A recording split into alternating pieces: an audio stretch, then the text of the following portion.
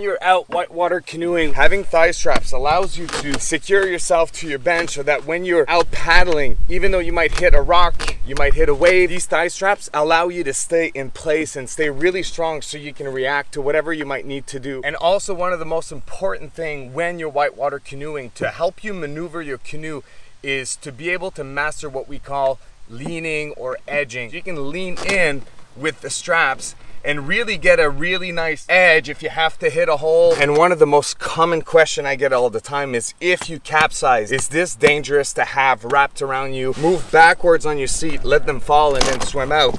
And if ever you were stuck and you couldn't get out for whatever reason, they all have some kind of quick release for you to be able to release. If you're looking to buy yourself a pair of straps, maybe a pair of knee pads, go to paddle.ca, check out their online stores. They're gonna be able to hook you up with all of this and this will forever change your whitewater canoe game.